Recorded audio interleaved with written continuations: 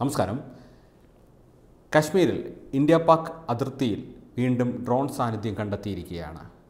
സാന്നിധ്യം കണ്ട മേഖലയിൽ തന്നെ അതിർത്തി സേന ഉടൻ തന്നെ ഡ്രോണിൽ വെടിയുതിർക്കുകയും ആ സമയം തന്നെ തിരികെ പോവുകയും ചെയ്യുകയുണ്ടായി. ഇപ്പോൾ വരുന്ന റിപ്പോർട്ടുകൾ പ്രകാരം ആയുധ കടത്തലിന് വേണ്ടിയിട്ടാണ് ഡ്രോണുകൾ പറപ്പിച്ചതായിട്ടാണ് റിപ്പോർട്ടുകൾ പറയുന്നത്. ഇതിന് കുറച്ച് ദിവസം മുമ്പാണ് വൻ സ്ഫോടക വസ്തുക്കളുമായി ഒരു ഡ്രോൺ ഇന്ത്യൻ അതിർത്തിയിലേക്ക് പറന്നു വരുന്നത് എന്നാൽ അതിന്റെ ശ്രമങ്ങളെയും വലിയൊരു വിപത്തിൽ നിന്ന് അതിന്റെ ശ്രമങ്ങളെയും അതിർത്തി സേന രക്ഷിക്കുകയുണ്ടായി. അതിനെ വെടിയുതിർക്കുകയും പക്ഷേ അതിലുള്ള സ്ഫോടക വസ്തുക്കളെ നശിപ്പിക്കാൻ അതിർത്തി സേനയ്ക്ക് സാധിച്ചു. എന്നാൽ ഡ്രോൺ തിരികെ പോവുകയുണ്ടായി. ഡ്രോൺ നശിപ്പിക്കാൻ സാധിച്ചില്ല. അതിൽ ടൈം ബോംബുകളായിരുന്നു ഉണ്ടായിരുന്നത്. പല സമയങ്ങളിൽ പല ഇടങ്ങളിൽ പൊട്ടാൻ വേണ്ടിയിട്ടുള്ള ടൈം ബോംബുകളായിരുന്നു അതിനകത്ത് സെറ്റ് ചെയ്തിരുന്നത്. എന്നാൽ ഇപ്പോൾ ആയുധക്കടത്തലിന് വേണ്ടിയിട്ടാണ് ഈ ഡ്രോൺ ഉപയോഗിക്കുന്നതെന്ന് പല നിഗമനങ്ങളും പറയുകയാണ്.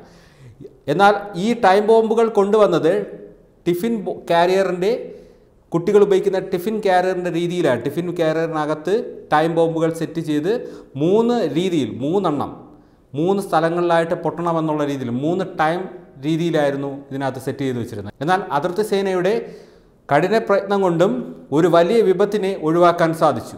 ഭീകരപ്രവർത്തകർ പല രീതിയിലുമാണ് ആക്രമണം നടത്തിക്കൊണ്ടിരിക്കുന്നത്. ഇന്ത്യയെ തകർക്കുന്നതിന് വേണ്ടിയിട്ട് പാകിസ്ഥാൻ ഇതുപോലുള്ള ഡ്രോൺ ആക്രമണങ്ങൾ നിരവധി നടത്താനുള്ള പ്ലാനുകൾ ഉണ്ട് എന്ന് പല റിപ്പോർട്ടുകളും പറയുന്നുണ്ട്. എന്നാൽ അതിർത്തി സേന ഇതിനെ വലിയ ജാഗ്രതയോടെ എടുക്കുകയും അതിനു വേണ്ടിയിട്ടുള്ള മുൻകരുതലുകളെല്ലാം എടുത്തിരിക്കുകയുമാണ്. എന്നാൽ പലയിടങ്ങളിൽ ഇപ്പോഴും ഡ്രോൺ സാന്നിധ്യങ്ങൾ കണ്ട് കാണുന്നുണ്ട് അതിനെ കണ്ടെത്തുന്നുണ്ട് എന്നെല്ലാം റിപ്പോർട്ടുകൾ പറയുന്നു. എന്നാൽ അതിനെ ഒന്നും ഈ അതിർത്തിയിലോട്ട് കയറ്റാൻ അതിർത്തി സേനകൾ അനുവദിക്കുന്നില്ല. എന്നാൽ എല്ലാ ശ്രമങ്ങളും പരാജയപ്പെടുത്തുന്നുണ്ട് എങ്കിലും വീണ്ടും പലയിടങ്ങളിലും ഇതുപോലുള്ള നൂതന രീതിയിലുള്ള ആക്രമണ രീതികളുമായിട്ട് വരികയാണ് ഭീകര ഭീകര സംഘടനകളും ഭീകര പ്രവർത്തകരും. എന്നാൽ ഇതിനെല്ലാം നേരിടാൻ ഇന്ത്യൻ സൈന്യത്തിന് കരുത്തുണ്ട്. ഇന്ത്യൻ സൈന്യം നേരിടുക തന്നെ ചെയ്യും. നമുക്കതിൽ ഒരു മാറ്റവും ചിന്തിക്കേണ്ടതില്ല.